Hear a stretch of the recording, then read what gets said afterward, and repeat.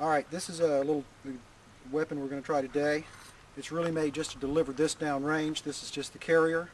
Rubber seals on both ends. It's as light as we could make it. We're going to see how much it can pierce.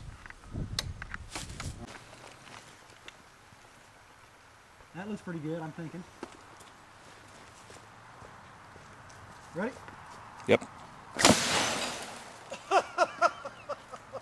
Yeah, get all, Yeah, but get all everything. We have the first monitor.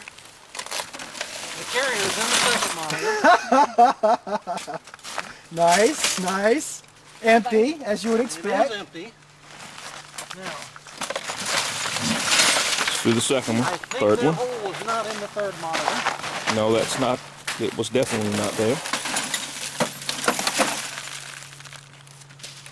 Any sign of it? It may be in the third monitor, I'm not sure. Yeah, it definitely went in. Yeah, that bottom hole is where it went in. Did it come out? Yeah, it did. Yeah, it came out. Yes, it's no longer super sharp and pointy. No. But it made, it, it almost reached the third one. It, it blunted the tip quite well. That was a needle sharp spike.